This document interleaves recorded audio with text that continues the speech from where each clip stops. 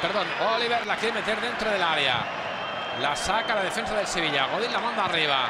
Lucha Griezmann con eh, Carrizo. Y de todo queda balón muerto. Gol de Coque. Ha marcado Coque.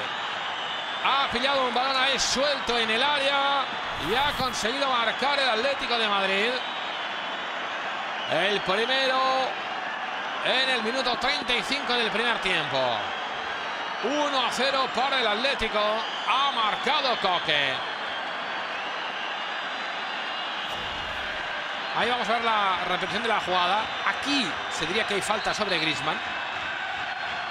La pelota queda en el suelo. Grisman consigue conectar con Coque. Y este, al estar libre de marca, pues puede marcar. Yo creo que aquí hay falta, pero en fin.